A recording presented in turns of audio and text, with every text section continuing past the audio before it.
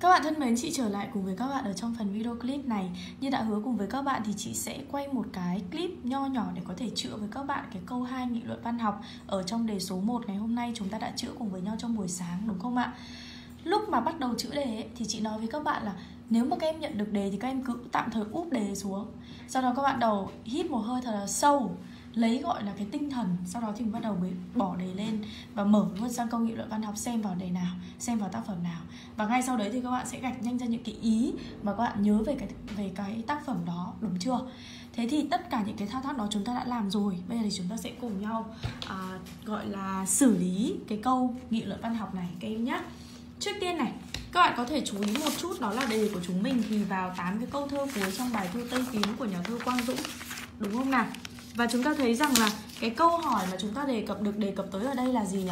À, trình bày cảm nhận của anh chị về đoạn thơ trên Từ đó làm rõ những vẻ đẹp riêng của người lính Tây Tiến được thể hiện trong thơ Quang Dũng Vậy là gì ạ? Đây là dạng đề phân tích Đúng chưa? Đây là dạng đề phân tích Nhưng mà lưu ý giúp chị rằng là nó ở cái dạng nâng cao chị sẽ nhắc nhớ lại một chút với các bạn về cái này bởi vì chị sợ là các bạn sẽ uh, băn khoăn trong cái việc là ơ tại sao chị Hiên lại chia cái phần này vào dạng phân tích mà lại có cả nâng cao? Bởi vì thường thì bọn em chỉ học là phân tích là chỉ phân tích thôi chứ đâu có phân tích nâng cao gì đâu đúng không? Thì ở đây trong cái dạng đề phân tích á, thì chị chia làm hai dạng. Được không nào? Cái dạng số 1 của chúng mình ấy chỉ là phân tức là cái dạng đề bài người ta cho đơn thuần sẽ chỉ là cảm nhận. Hoặc là phân tích về một đối tượng văn học nào đó thôi. Đúng chưa ạ? Đơn thuần chỉ là cảm nhận hoặc là phân tích về một đối tượng văn học nào đó thôi đúng chưa nào? Còn sẽ có thêm một cái dạng nữa. Nó giống cái dạng mà chúng ta vừa gặp ở trong bài tây tiến này này. Đó là sau khi mà cảm nhận và phân tích xong, thì các em sẽ phải làm rõ một cái vấn đề nào đó liên quan trong văn học. Và cụ thể ở đây, chúng ta thấy rằng là với cái đề bài này thì cái vấn đề chúng ta cần phải làm rõ đó chính là vẻ đẹp riêng của người lính tây tiến được thể hiện trong thơ quang dũng. Đúng chưa nào? Nhá. Thì tất cả những cái phần đó chúng ta sẽ gì ạ? Làm rõ ở trong cái luận điểm số 3 ok chưa các bạn lưu ý giúp cho chị nhé bây giờ thì chúng ta sẽ cùng bắt đầu xử lý cái đề này cùng với nhau Trước tiên này, các bạn xác định dạng đề xong thì đồng thời với việc là các bạn sẽ xác định được cái bố cục của bài viết. Đúng không? Bố cục của bài viết các bạn phải đảm bảo giúp cho chị là 3 phần mở bài, thân bài và kết bài. Đúng chưa ạ? Mở bài chúng ta làm nhiệm vụ gì nhỉ? À, dẫn dắt cộng với đặt vấn đề. Đúng chưa? Rồi, thân bài chúng ta có mấy luận điểm nhỉ? À, ba luận điểm. Luận điểm 1 là tác giả tác phẩm, Luận điểm 2 là phân tích về giá trị nội dung và nghệ thuật Và luận điểm 3 chúng ta có là gì nhỉ? À khái quát và làm rõ cái vấn đề mà nếu như ở trong đề bài người ta hỏi liên quan Ok chưa ạ? Kết bài thì chúng ta làm gì nhỉ? Khẳng định lại vấn đề và nêu ra cái cảm nhận cá nhân của các em Đúng chưa nào? Rồi nhá, thì về bố cục là như vậy Đối với dạng đề phân tích là như thế Hãy lưu ý giúp chị một điều rằng là đối với cái, đối với cái lượng kiến thức của năm nay ấy, thì chúng ta phải thừa nhận với nhau một điều rằng là qua cái đề minh họa mới nhất mà Bộ Giáo dục gọi là tung ra, thì cái dạng đề trọng tâm của các bạn năm nay vẫn là dạng đề phân tích. Thế nhưng mà trong cái trường hợp là nhiều bạn nói rằng là những cái năm trước ạ, thì nó sẽ rơi vào những cái dạng đề như là so sánh hay là liên hệ thì năm nay liệu rằng cái khả năng có rơi vào dạng đề đó không hả chị? Bản thân chị thì nghĩ rằng là mọi thứ đều có thể xảy ra Thế nên các bạn hãy chuẩn bị tốt nhất tất cả những cái gì mà chúng ta có thể chuẩn bị một cách tươm tất được. Ok không ạ? Tránh cái trường hợp là vào cái vấn đề, vào những cái dạng bài mà các bạn còn không cần biết cách làm thì lúc đấy không gọi là trời cứu. Không có ai cứu được các bạn cả. Lưu ý giúp chị nhá. Thì chị muốn nói với các bạn là cái dạng đề phân tích này này Nó đóng một cái vai trò là cái dạng đề tiên quyết. Được không ạ? Đóng một vai trò là dạng đề tiên quyết. Ok chưa? Nó liên quan chặt chẽ tới các cái dạng đề khác Như là liên hệ, như là so sánh, như là chứng minh nhận định vân vân. Thì nó đóng một cái vai trò tiên quyết. Thế nên là ở trong cái khóa luyện đề miễn phí này Thì hầu hết các cái đề chị cũng sẽ cho chủ yếu là vào phân tích và vào chứng minh nhận định. Ok chưa ạ? Thì các bạn sẽ lưu ý giúp cho chị điều này nhé Thì đấy là một số những cái phần kiến thức chị chia sẻ ngắn gọn với các bạn là như vậy. Bây giờ thì chúng ta sẽ cùng nhau xử lý cái đề này. Chúng ta thấy rằng là cái đối tượng phân tích của chúng ta ở trong bài này ấy là 8 câu thơ gần cuối đúng không? Trong bài thơ Tây Tiến của nhà thơ Quang Dũng Và nội dung chủ đạo, nội dung chính của cái đoạn thơ này Đó chính là hình tượng người lính Tây Tiến Mang trong mình những vẻ đẹp hào hùng Hào hoa Lãng mạn Và bi tráng Ok chưa ạ? Lưu ý giúp chị nhá. Để chúng ta định hình được luôn là Chúng ta không bị lạc đề rồi. Yên tâm một điều là không bị lạc đề. Nhiều bạn đọc xong 8 câu thơ này Còn không cả hình dung ra được là 8 cái câu thơ này viết về cái gì không Thế bây giờ còn bản thân còn không hình dung ra được Thì định làm cái gì đây? Được không ạ? Hãy nhớ thật là chắc về kiến thức nền, Bởi vì kiến thức nền chính là cái phần đáp ứng cho các bạn. Cái phần là các bạn sẽ đủ ý. Được không ạ? Như chị đã từng phân tích với các bạn một lần rồi, Ở trong cái dạng đề phân tích ấy, Thì chúng ta sẽ cần một là kiến thức nền. Đúng không? Hai là diễn đạt.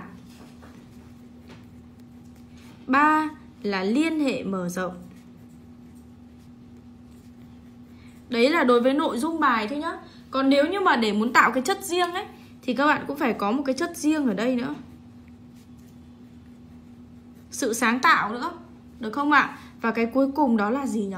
À cái cuối cùng mà chúng ta cần ở đây đó là chữ viết về hình thức trình bày phải sạch sẽ Chứ không về lại bảo là chị ơi em viết một cái bài văn hay lắm Em viết được tận 4 năm 4 tờ cơ, hay ơi là hay Nhưng mà chữ em thì lại kiểu như như, như là gà bới Thì thực sự là những cái người chấm bài thi của các em cũng không thể biết là các em đang viết gì để cho điểm các em được Thế nên chị mới nói là một trong số những cái yêu cầu mà các bạn cũng cần phải ghi nhớ giúp cho chị Đó là các bạn phải trình bày sạch sẽ, khoa học. Nếu như chữ mình không được đẹp thì mình cũng phải viết rõ ràng Để ít nhất là à, những cái người chấm thi ban gì ạ giám thị chấm thi à, những cái thầy cô chấm thi nhìn vào bài của các bạn còn biết là các bạn đang viết về cái gì. Ok chưa? Nhá và tạo ra một cái sự thiện cảm đối với người chấm thi. Thì đây là những cái điều mà chị muốn lưu ý đối với các em. Bây giờ chúng ta sẽ cùng nhau đến với tám cái câu thơ này. Trước tiên đây ạ chị sẽ lấy đề ra nhé đây các bạn nhìn vào đây. Bao giờ cũng vậy, bố cục của chúng ta sẽ bao gồm 3 phần mở bài. Chúng ta làm gì nhỉ dẫn dắt cộng với đặt vấn đề. Đúng chưa? Thì ở đây các bạn có thể đi từ rất là nhiều cái khía cạnh khác nhau. Ví dụ ở đây chị chọn đi từ tác giả. Được không nào? Thì chị bắt đầu có những cái thông tin về Quang Dũng như là một nhà thơ đa tài này. Được không? Là một nhà thơ thường viết về đề tài người lính và quê hương này. Ví dụ là như vậy và chị quyết định sử dụng cái phải và trong cái phần mở bài của mình thì chị sẽ bắt đầu viết như sau. Trong nền văn học Việt Nam hiện đại, nhà thơ Quang Dũng được biết tới là một người nghệ sĩ đa tài và cũng rất mực đa tình. Vẽ tranh à, vẽ tranh soạn nhạc viết văn thứ gì quang dũng cũng làm giỏi cả. Thế nhưng quang dũng lại được bạn đọc biết đến trước tiên với tư cách của một nhà thơ trong quá trình sáng tác của mình, Quang Dũng thường dành sự chú ý đặc biệt về đề tài người lính và đề tài quê hương và một trong số những thi phẩm tiêu biểu trong sự nghiệp sáng tác của người nghệ sĩ này là bài thơ Tây Tiến được không ạ? Để lại nhiều ấn tượng với độc giả là 8 câu thơ gì ạ? À? à, 8 câu thơ nói về hình tượng người lính Tây Tiến hào hùng, hào hoa, lãng mạn và bi tráng. Hai chấm trích cái đoạn thơ ra. Ok chưa? Thì các bạn có thể nhanh chóng ghi lại cái phần đó để các bạn mở bài nhé. Hoặc là các em cũng có thể đi từ đề tài. Bởi vì là chị bảo là đối với cái việc là chúng ta viết mở bài từ đề tài á, thì chúng ta sẽ để cái tác giả, để cái tác phẩm đó ở nhiều những cái góc độ, góc nhìn khác nhau ví dụ như là chị nhìn bài tây tiến chị nói rằng là đây là một cái bài thơ về đề tài người lính Ok chưa? Nhưng mà một bạn học sinh nhìn về Tây Tiến thì lại bảo là À đây là một cái khúc độc hành của nỗi nhớ thương, Nên là tôi sẽ để ở đây là gì ạ? À là nỗi nhớ thương, Đề tài nỗi nhớ thương trong thi ca Đúng chưa nào? Rồi, tôi thấy rằng là cái đoạn đầu ấy Là tập trung vào miêu tả thiên nhiên Thì tôi sẽ nói là gì ạ? À thuộc đề tài thiên nhiên vẻ đẹp thiên nhiên ví dụ là như vậy. Thì có nghĩa là ở mỗi góc nhìn và mỗi khía cạnh chúng ta sẽ có được một cái đề tài khác nhau. Nhưng mà chị muốn là các bạn hãy lựa một cái đề tài mà các bạn cảm thấy dễ viết nhất. Thì đấy là cái lời khuyên của chị dành cho các bạn. Ví dụ ở đây chị lựa cái đề tài nỗi nhớ chẳng hạn. Ví dụ là như thế nhá. Được không ạ? Lựa cái đề tài nỗi nhớ chúng ta sẽ bắt đầu là gì ạ? Không biết từ bao giờ à, nỗi nhớ niềm thương đã trở thành một đề tài rộng mở trở thành một đề tài rộng mở cho biết bao nhiêu những người nghệ sĩ dùng ngòi bút của mình viết nên những vần thơ thật hay. Xong bắt đầu trích dẫn ra được không ạ? Chúng ta biết tới nỗi nhớ nỗi nhớ về quê hương qua bài thơ cùng tên của nhà thơ Tế Hanh nỗi nhớ về hình ảnh người bà qua bài thơ bếp lửa của nhà thơ Bằng Việt và cũng có một nỗi nhớ thương à, gì ạ? Và cũng có một nỗi nhớ thương vô cùng đặc biệt mà Quang Dũng đã thể hiện qua thi phẩm của mình với tựa đề Tây Tiến. Đó là nỗi nhớ thương về những người đồng chí đồng đội. Để lại nhiều ấn tượng với độc giả là những vần thơ hay chấm trích thơ ra. Ok chưa? Thì đấy là hai cái cách gợi ý mở bài cơ bản. Chị hướng dẫn cho các em. Các em có thể linh hoạt trong cái việc uh, viết mở bài.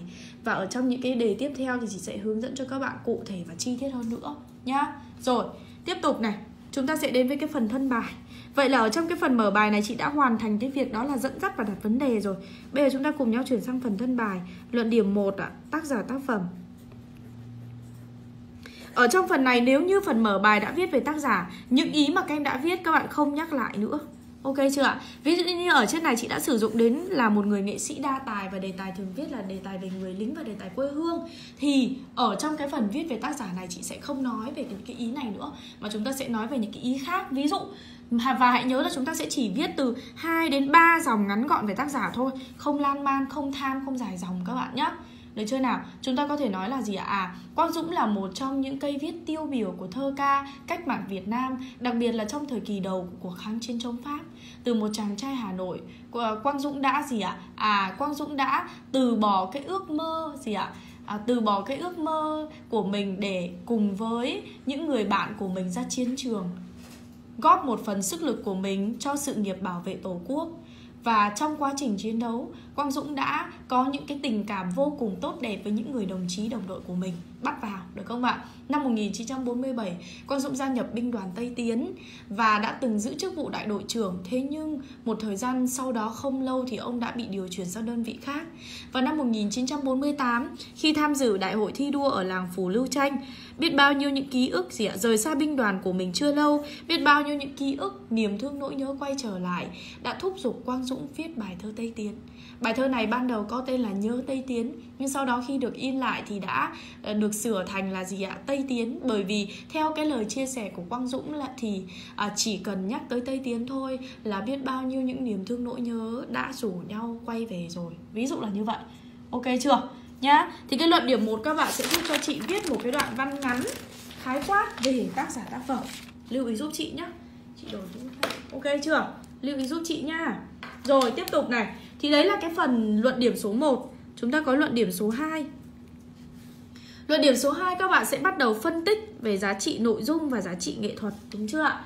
Thì ở đây chị sẽ chỉ khái quát cho các bạn để các bạn dựa vào cái phần kiến thức nền các bạn làm thôi. Đây, ví dụ như thế này.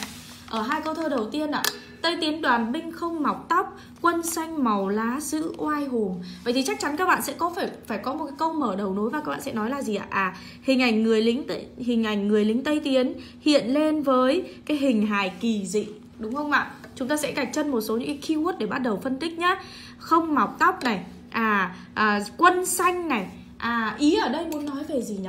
Muốn nói về hình ảnh của những người lính Tây Tiến trong cuộc chiến ở trên cái đường hành quân gian khổ thì những cái gì ạ? Những cái sự nguy hiểm của nơi rừng thiêng nước độc, những cái sự thiếu thốn về vật chất đã khiến cho những người lính tây tiến như thế nào nhỉ? Mắc phải những cái căn bệnh như là sốt rét rừng này, đúng không? Như là sốt rét rừng này. Và chính vì những cái điều kiện khó khăn và thiếu thốn đó đã khiến cho những người lính Tây Tiến không mọc được tóc tóc rụng hết và không mọc lại được, đúng không ạ? Quân xanh ở đây, ý muốn nói tới là cái làn da xanh sao, bởi vì cũng thiếu thốn vật chất như vậy. Lý giải thêm về không mọc tóc thì chúng ta có thể nói về hai ý. Một là những cái thiếu thốn về vật chất, hai là cái gì ạ? À đây là một cái việc mà người lính Tây Tiến họ đã chọn. Họ đã chọn để làm gì? Để tiện cho cái việc sinh hoạt, họ đã cạo hết tóc đi để tiện cho cái việc sinh hoạt. Đó là lý do và gì ạ? Tiện cho cái việc đánh gì ạ? Đánh giáp lá cả với địch. Đó là lý do tại sao mà những người lính tây tiến được gọi là những anh vệ túm những anh vệ chọc, đặc biệt là những cái người lính thời kỳ đầu kháng chiến chống pháp á. Ok chưa? Thế nhưng mà nếu như mà chỉ phân tích đến đây thôi thì chúng ta thấy rằng là hình ảnh người lính tây tiến cực kỳ là tiểu tụy. Nhưng mà không phải là như vậy. Chúng ta thấy này à từ đoàn binh đi kèm với không mọc tóc. Đoàn binh ở đây gợi ra cái khí thế hừng hực, gợi ra cái sức mạnh gợi ra một cái đội quân đông đảo một cái sự đoàn kết tinh thần đoàn kết ở đây và cái quân xanh đi với giữ oai hùng Màu xanh ở đây có thể là màu da xanh Nhưng cũng có thể là màu xanh của lá ngụy trang Phải không ạ? Và chúng ta thấy rằng là cái cái cụm từ giữ oai hùm ấy khiến cho hình ảnh của những người lính Tây Tiến bây giờ đang giống như là gì ạ? Không phải là trong cái hình hài à, gì ạ kỳ dị và yếu đuối nữa mà lại là gì nhỉ? Trong cái tư thế đang làm chủ thiên nhiên, làm chủ đất trời. Và đó, chúng ta nhìn thấy được cái vẻ đẹp gì ạ? Hào hùng của những người lính Tây Tiến. Ok chưa? nhá, hai câu thơ tiếp theo đây là hai câu thơ được coi là hai câu thơ hay nhất trong bài thơ tây tiến của nhà thơ quang dũng, bởi vì nó đã nhốt chọn hai thế giới được không ạ và hai giấc mộng của trí làm trai thời loạn ban ngày thì gửi ánh mắt chừng chú ý tới từ chừng cho chị, là một cái ánh mắt đầy căm thù về phía quân địch đầy quyết tâm về phía quân địch để nuôi cái giấc mộng. Chinh phu là giấc mộng đánh giặc, đúng không?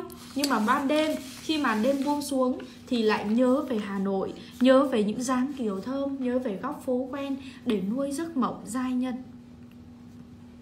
Và đây chúng ta nhìn nhận được cái sự lãng mạn ở trong tâm hồn của những người lính Tây Tiến. Ok chưa ạ? Hai câu thơ nhốt chọn hai thế giới ngày và đêm Nhốt chọn hai giấc mộng của trí làng trai thời loạn Là mộng trinh phu và mộng giai nhân nhá.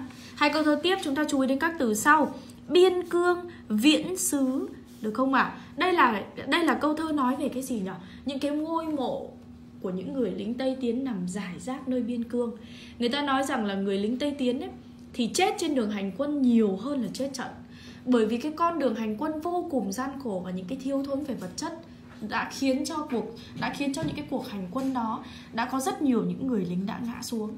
Và những cái ngôi mộ này là những cái ngôi mộ xa xứ nằm rải rác không một vòng hoa đưa tiễn không một giọt nước mắt. À, và cũng không biết là người thân của họ ở đâu cả. Chúng ta thấy rằng là quang dũng đã rất tinh tế khi sử dụng rất nhiều những từ ngữ hán việt ở đây để muốn thể hiện bày tỏ cái sự trân trọng của mình trước sự hy sinh của những người đồng chí đồng đội ok chưa nào? Và bản thân của những người lính tây tiến, họ ra đi mang trong mình một cái lời thề. Câu thơ tiếp theo là một lời thề. Đây là lời thề quyết tử cho tổ quốc quyết sinh. Chiến trường là nơi gắn liền gắn liền với hiểm nguy và bom đạn. Đời xanh ở đây là gắn với những cái hoài bão ước mơ. Rõ ràng là hai cái cụm từ đối lập nhưng lại đi liền trong một câu chúng ta có thể liên hệ ở đây tới những cái câu thơ trong bài thơ khúc 7 của nhà thơ Thanh Thảo chúng tôi đã đi không tiếc đời mình, nhưng tuổi 20 làm sao không tiếc nhưng ai cũng tiếc tuổi 20 thì còn chi tổ quốc ok chưa nào đây là một cái lời thề quyết tử cho tổ quốc quyết sinh Câu thơ tiếp theo muốn nói về cái sự hy sinh của người lính Tây Tiến và sử dụng biện pháp nói giảm nói tránh. Đó là gì nhỉ? Hình ảnh anh về đất. Anh gì ạ? À? Những người lính Tây Tiến trở về với đất mẹ trong hình hài nguyên sơ nhất. Tác giả dùng cái biện pháp sử dụng cái hình ảnh áo bào là một cái trang phục vốn dĩ dùng cho vua, cho quý tộc, cho ai nữa ạ? Cho những cái vị tướng như ở đây lại được sử dụng. Nhưng mà thật ra nó chỉ là một cái tấm áo chấn thủ mà thôi đây là một cái cách nói để bày tỏ cái sự trân trọng giống như là một cái sự kính cẩn nghiêng mình trước anh linh của những người đồng chí đồng đội của mình đã hy sinh trong cuộc chiến tranh cực kỳ là ác liệt và gian khổ được không nào? Và để rồi, trước sự hy sinh của những người lính Tây Tiến, dòng sông Mã được nhân hóa với từ gầm đã thét lên một cái khúc, một cái tiếng kêu đau đớn khi chứng kiến những cái vị tướng của mình ngã xuống. Và chúng ta thấy rằng là cái tiếng thét của dòng sông Mã này cũng giống như là cái tiếng thét gì ạ à? à cũng giống như là âm thanh của một cái bài điếu trước sự ra đi của những người lính tây tiến thế nhưng cái bài điếu này lại mang tầm vóc thiên nhiên tầm vóc vũ trụ đúng không nào? Thì chúng ta ở đây chúng ta thấy được cái vẻ đẹp bi tráng của những người lính tây tiến. Được không nào? Đây là hào hoa và lãng mạn. Ok chưa? Được không ạ? À? Thì các bạn đảm bảo cho chị những cái nội dung về cơ bản là như vậy. Nhưng mà các em sẽ liên hệ thêm giúp cho chị những cái vấn đề khác. Liên hệ thêm giúp chị vào để làm cho cái bài viết của chúng ta phong phú hơn. Còn về hướng dẫn thì chị chỉ hướng dẫn các bạn như vậy được thôi.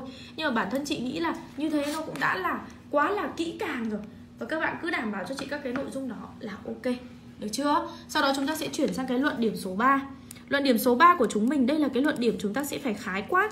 Nhưng mà trước khi khái quát thì chúng ta sẽ làm rõ về cái nét riêng của hình ảnh người lính Tây Tiến trong bài thơ Của hình ảnh người lính Tây Tiến trong thơ của Quang Dũng.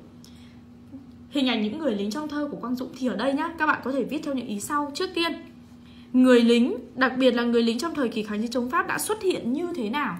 Chúng ta có thể lấy dẫn chứng trong thơ của Chính Hữu. Trong thơ của Hồng Nguyên, trong bài nhớ, chính hữu trong bài đồng chí, đều là thời kỳ đầu đấy, đúng chưa? Sau đấy thì chúng ta sẽ nói về người lính trong thơ của Quang Dũng. Thì chúng ta sẽ tìm ra được cái điểm riêng ở đây, đó là gì nhỉ? À lấy cái này, trừ đi cái này, chúng ta sẽ ra cái điểm riêng ở đây, đó chính là cái sự lãng mạn và hào hoa. Và chính cái điều này đã khiến cho thơ của Quang Dũng đứng riêng trên một ốc đảo. Bài Tây Tiến của nhà thơ Quang Dũng đứng riêng trên một ốc đảo bởi cái sự độc đáo này, được không ạ? Thì các bạn sẽ xoáy sâu giúp cho chị cái này nhá. Và chúng ta sẽ lý giải, viết thêm một cái ý nữa, đó là lý giải tại sao lại có điều như vậy. Là bởi vì gì ạ? Bản thân quang dũng là một người sinh ra từ cái quê hương của mình là nơi xứ đoài mây trắng này. Sau đó thì đến là ở hà nội học tập và gì ạ? À ảnh hưởng bởi những cái gì ạ? Suy nghĩ lối suy nghĩ của những cái thanh niên trẻ lúc bấy giờ mang trong mình cái sự lãng mạn và hào hoa. Và bản thân quang dũng ấy, bản thân ông ấy đã là một người như vậy rồi. Thế nên là ông đưa tất cả những cái gì nó vào trong này chân thực nhưng lại bằng một cái góc nhìn lãng mạn được chưa ạ? Thì các bạn sẽ lý giải ở đây giúp cho chị Có thể lý giải về phong cách nghệ thuật này Và về con người của nhà thơ Quang Dũng nữa Thì chúng ta sẽ viết cho chị một cái đoạn ngắn này Sau đó chúng ta sẽ khái quát giúp chị Một lần nữa về nội dung và về nghệ thuật của bài thơ này được không ạ? Sử dụng những nghệ thuật gì và từ đó để diễn tả một cách rõ nét về nội dung là hình ảnh những người lính Tây Tiến hào hùng, hào hoa, lãng mạn và bi tráng. Ok chưa? Sau đó các bạn sẽ kết bài thôi. Ở trong cái phần kết bài này thì các bạn sẽ khẳng định lại thêm một lần nữa và các bạn sẽ nêu ra những cái cảm nhận cá nhân của các em. Qua việc phân tích 8 câu thơ trong bài thơ Tây Tiến của nhà thơ Quang Dũng, chúng ta thấy được rõ nét hình ảnh người lính Tây Tiến à, hình ảnh người lính Tây Tiến hào hùng hào hoa lãng mạn và bi tráng do đó chấm gì ạ? Có thể sử dụng cái đoạn thơ của nhà thơ Giang Nam á để kết bài. Được không? Sử dụng nhà, đoạn thơ của nhà thơ Giang Nam để kết bài. Tây Tiến biên cương mở lửa khói, quân đi lớp lớp động cây rừng và bài thơ ấy con người ấy vẫn sống muôn đời với núi sông. Thì đấy, ok chưa? Các bạn ơi, chị nghĩ là vừa rồi thì chị đã chữa cho các bạn cực kỳ là chi tiết, khá là chi tiết về cái đề này rồi. Và bản thân chị nghĩ là với cái phần hướng dẫn của chị vừa rồi thì chắc chắn là các em cũng đã định hình ra được là chúng ta phải viết những ý gì và làm như thế nào. Bây giờ còn lại là cái quá trình mà các bạn luyện tập thôi. Và hy vọng là với cái phần chữ bài vừa rồi thì các bạn đã các bạn đã yên tâm hơn về cái kiến thức của mình. Và nếu như thi ấy, mà vào đoạn này của bài thơ Tây Tiến thì phải nhớ là làm bài thật tốt đấy nhá. Ok chưa? Cảm ơn các em rất nhiều vì đã theo dõi cái phần video clip ngày hôm nay. Chị chữa cái phần này. Và ngày mai thì chúng ta sẽ lại tiếp tục gặp nhau. À, hy vọng là chúng ta sẽ có được một cái hành trình học miễn phí cùng với nhau nhưng mà sẽ có được thật là nhiều cái giá trị nhá. Cảm ơn các bạn. Xin chào và hẹn gặp lại.